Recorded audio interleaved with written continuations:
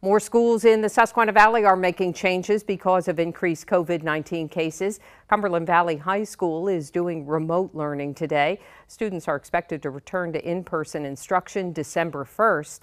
Students in 6th through 12th grades in the Chambersburg Area School District will move to virtual learning from December 3rd to January 15th. And all elementary school students will remain on a hybrid schedule.